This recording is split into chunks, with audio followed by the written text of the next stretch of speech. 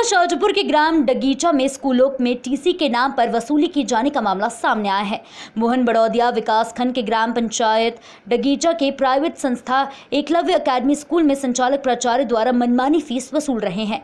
इससे गाँव के पालक व बच्चे अधिक परेशान हो चुके हैं। पालकों के द्वारा स्कूल की फ़ीस भी जमा होने के बाद स्थानांतरण प्रमाण पत्र नहीं दिए जा रहे हैं।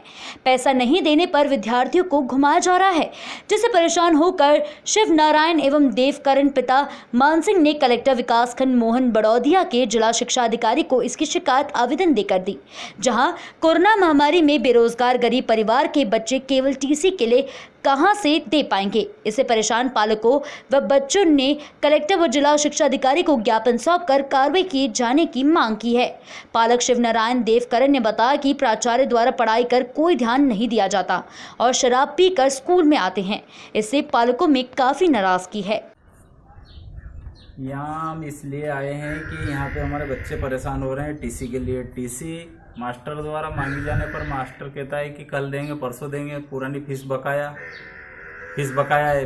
फ़ीस पहले से ही जमा कर दी ऑलरेडी वो तो एक शराबी मास्टर है और शराब पीकर वो डबल से फ़ीस मांगने की कोशिश कर रहा है।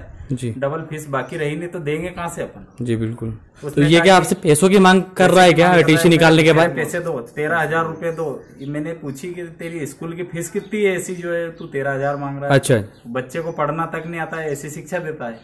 अच्छा अच्छा। शराब पीकर बच्चों को कुछ भी नहीं सिखा पाता है और ऐसे टीचर रखता है जो आठवीं नौवीं फेल है। अच्छा अच्छा। तो अभी आप क्या चाहते हैं? अपन ये चाहते हैं ये टीसी की मांग करी अपन ने अगली शिक्षा का अध्ययन के लिए। आज इकतीस जुलाई लास्ट तारीख है। अभी तक उसने पाँच दिन पहले से बोल रहा है कल दूँगा आज परसों दूँगा नरसों दूँगा। अभी तक टीसी नहीं दी उसने ये मैं शिकायत करने के लिए जिला शिक्षा अधिकारी जिला शिक्षा अधिकारी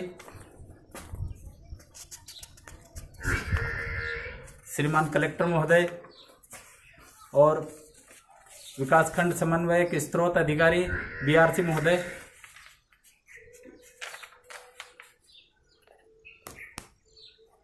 और विकासखंड शिक्षा अधिकारी महोदय को मैंने शिकायत की है जिसकी प्राप्ति मेरे पास है।